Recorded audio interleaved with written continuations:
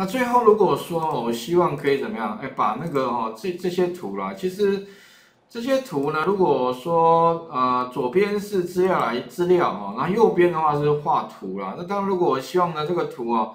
哎可以把它另外再放一个工作表，放在图表这个工作表里面的话，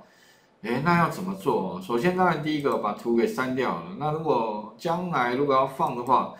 理论上哈，就是放在什么 A one 这边好了啊，以 A one 开头，然后再下一个的话就是 A 十一嘛，OK，然后再 A 二十一，以此类推。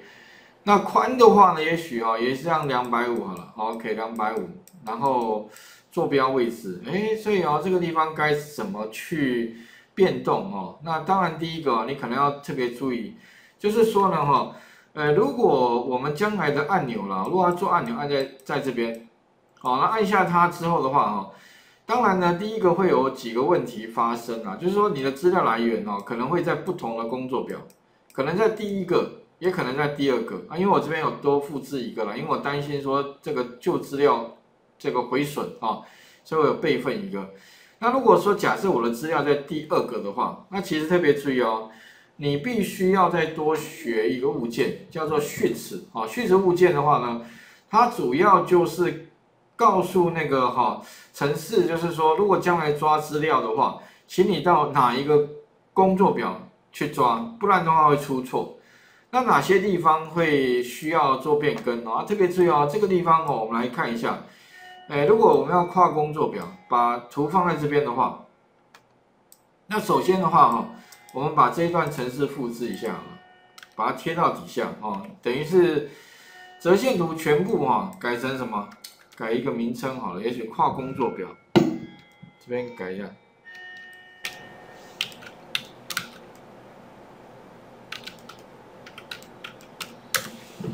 OK，好啊，所以哦，这个地方哈，顺便讲一下有关那个工作表物件哦，因为如果将来你的资料会放不同的工作表的时候哦，那你就有必要哦，要知道诶工作表物件的使用方式哦。那首先的话，第一个啦，我们来，如果你现在执行的话，一定会出错，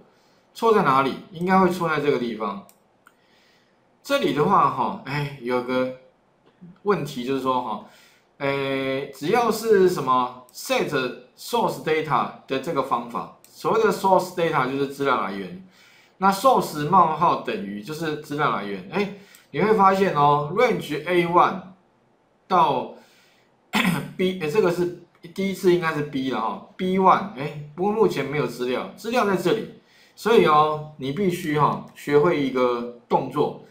就是如果将来你的资料来源是在这一个工作表的话，那我要怎么样刚好指到它？很简单哈，请你在 range 前面加一个所谓的哪个工作表啊？记得啊，工作表物件叫序词，所以你就打一个 S H E T 加 S，第几个工作表？第零哎，第二个，所以呢，你就跟他讲啊，在第二个工作表点啊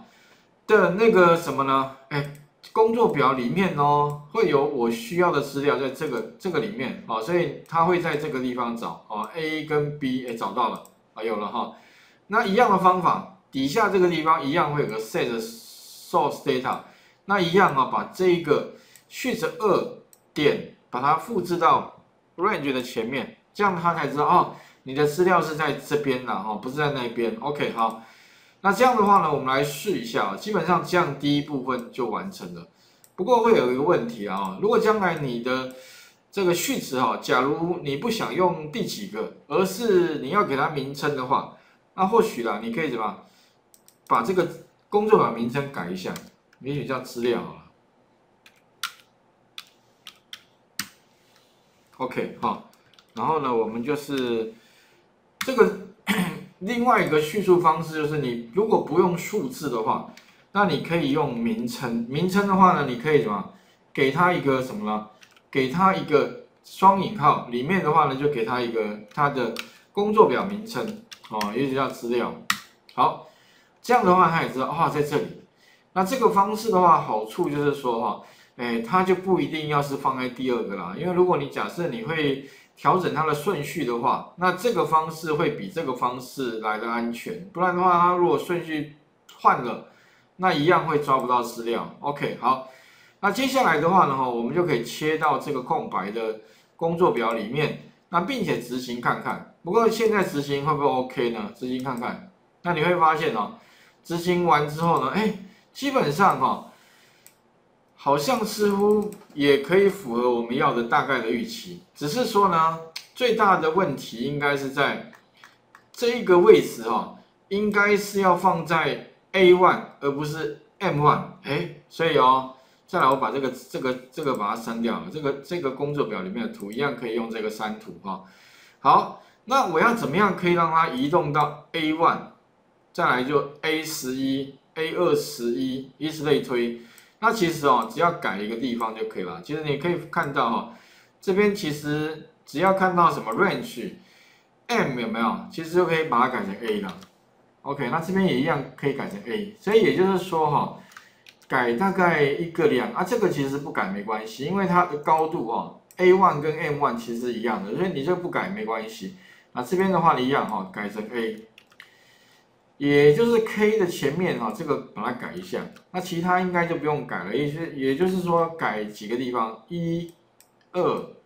三、四，OK，这样就完成了。然后另外的话，还有就是说，那个 set source data 这边哈，记得前面一定要加上序词的叙述，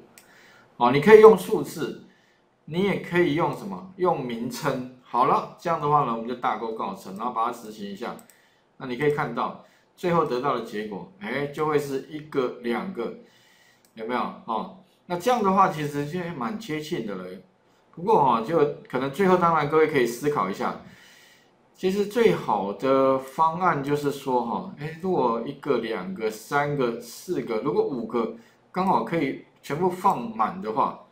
那刚好就不用纵向了，你就是刚好放在这个区块里面了，啊，甚至你可以把它缩小一下，全部应该都可以放的满满的话，哎，那这个地方应该怎么怎么做？OK，哈，哎，最后其实可以想想看啊，那如果这个可以做的话啊，基本上这样子的话，以后我们就可以怎么？把资料爬取下来之后，哈，哎，就可以快速的绘制我们要的所谓的 dashboard 啊。这个 dashboard 的话，跟 Power BI 其实蛮，Power BI 其实里面蛮大的一个卖点哦，就是这个所谓的那个呃 dashboard 啊，就其实仪表板啊的这个概念，那可以快速的把需要的图给绘制出来。好，那所以请各位试试看哦，把这个地方也许再改一下，跨不同工作表啊。改的部分大概其实就是几个地方，那城市部分的云端上面其实也有，